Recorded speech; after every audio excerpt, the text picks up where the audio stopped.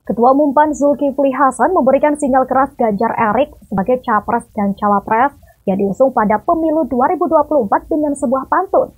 Menteri BUMN Erick Thohir pun merespon Zulhas untuk maju dalam kontestasi pemilihan presiden 2024 nanti. Hal itu disampaikan di hadapan Jokowi dan 2.400 peserta kader PAN yang menghadiri workshop dan rakornas pemenangan PAN. Menteri BUMN Erick Thohir merespon kode dukungan yang muncul dari Ketua Umum PAN yakni Zulkifli Hasan guna maju dalam kontestasi pemilihan presiden 2024 nanti. Nama Erik dimunculkan Zulkifli sebagai calon wakil presiden untuk mendampingi Gubernur Jawa Tengah Ganjar Pranowo yang disebut sebagai calon presiden.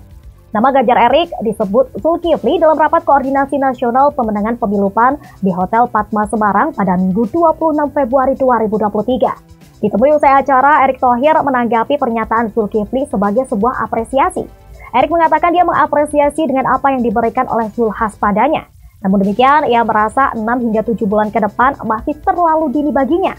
Menurut Erick, di samping masih ada perbedaan terkait nama capres-cawapres masing-masing partai dalam koalisi Indonesia Bersatu, banyak persoalan darurat yang harus segera dituntaskan.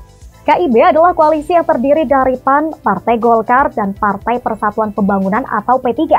Apalagi sekarang ia tidak hanya menjabat Menteri BUMN, tetapi juga baru terpilih sebagai Ketua Umum Persatuan Sepak Bola Seluruh Indonesia atau PSSI.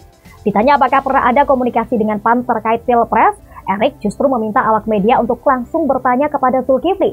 Lebih lanjut ditanya kedekatannya dan kecocokannya dengan Gubernur Jawa Tengah Ganjar Pranowo, Erik mengaku sudah akrab dengan sejumlah kepala daerah.